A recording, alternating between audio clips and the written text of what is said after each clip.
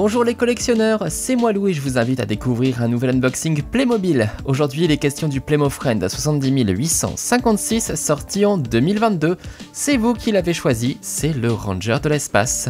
Il est cool, il est classe, il nous vient du fond de l'espace. Cette figurine me fait forcément penser à la gamme de la police de l'espace qu'on a eu en 2020. Bon, c'était vraiment un thème un peu bizarre et on retrouve d'ailleurs un peu le même look pour ce personnage. Un look futuriste forcément, avec une combinaison noire doublée d'éléments a priori métalliques. Et sur la tête un gros casque avec des tas d'éléments affichés comme sur un écran. En dessous, Jean-Kévin a une paire de lunettes noires, sans doute pour avoir l'air plus cool. Je me demande s'il se la pèterait pas un petit peu quand même. Mais bon, on va pas trop se moquer de lui parce qu'il a un énorme gun. Ça, c'est pas pour chasser le lapin, c'est sûr.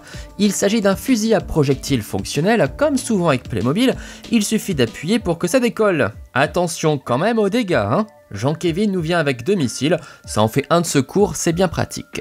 Et voilà pour la présentation du Ranger de l'espace, un Playmo Friend stylé qui complétera bien votre thème de la police de l'espace si jamais vous l'avez. Le look est plutôt sympa en tout cas. Allez, je vous invite à aller voir mes autres unboxings au passage, à vous abonner à ma chaîne sur YouTube et sur TikTok, et puis à liker, commenter et partager cette vidéo pour me soutenir. Et rendez-vous dans l'onglet communauté de ma chaîne pour voter pour la prochaine figurine. A très bientôt avec une nouvelle vidéo. Ciao